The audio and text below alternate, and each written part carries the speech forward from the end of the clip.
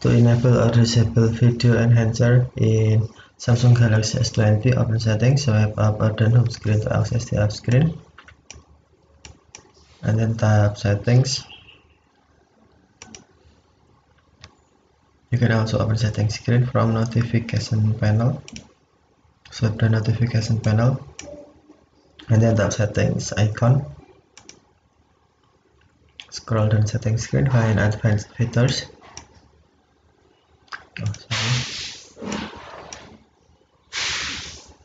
tap advanced features. Scroll down. And then to enable video enhancer tap switch until blue or to disable tap switch until white. Video enhancer the image quality of your video. Enhance the image quality of your videos to enjoy brighter and more vivid color. Uh, this uh, video enhancer available apps.